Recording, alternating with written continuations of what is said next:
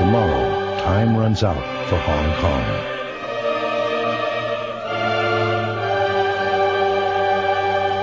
Tonight, there's enough time for one more mission.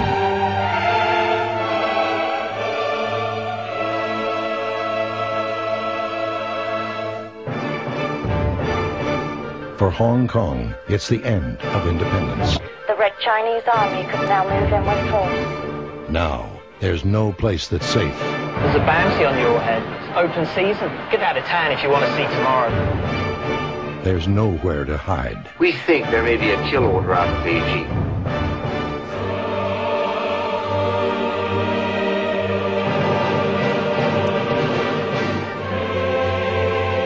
There's only one day left.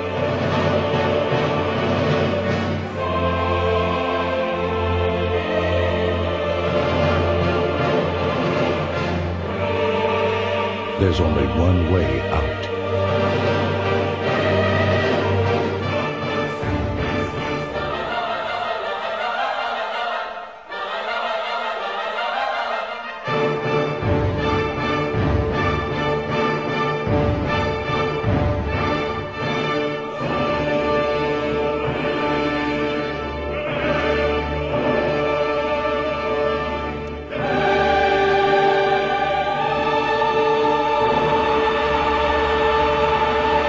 Hong Kong 97. The clock is ticking.